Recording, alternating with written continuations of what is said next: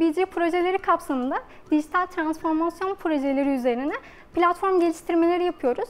Ayrıca bunlara ek olarak da problemlere yönelik de özel olarak çözümler üretiyoruz.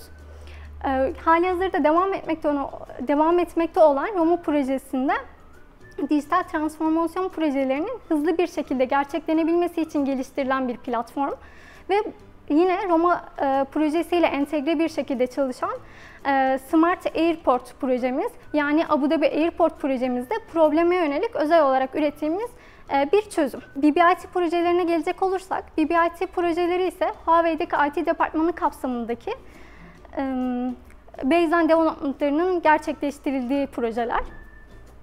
Ve bunlar şu an devam etmekte olan ISTP ve iCare projelerimiz var.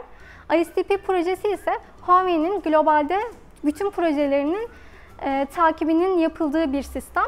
Huawei'nin e, 180 bin çalışanının büyük çoğunluğunun kullandığı bir sistem. iCare projesi ise e, canlıya çıkmış CMBG projelerinin issue'larının aynı zamanda SLA'lerinin takip edildiği, yönetiminin yapıldığı ve dolayısıyla da müşterilerin e, de kullandığı IT ürünü. Innovation projeleri kapsamında geliştirmiş olduğumuz TAP, test otomasyon tool'umuz e, aynı zamanda ürünleştirme aşamasında olan da bir projemiz ve yavaş yavaş müşterilere tanıtılmaya başlandı. Aynı zamanda TÜBİTAK tarafından da desteklenen bir proje.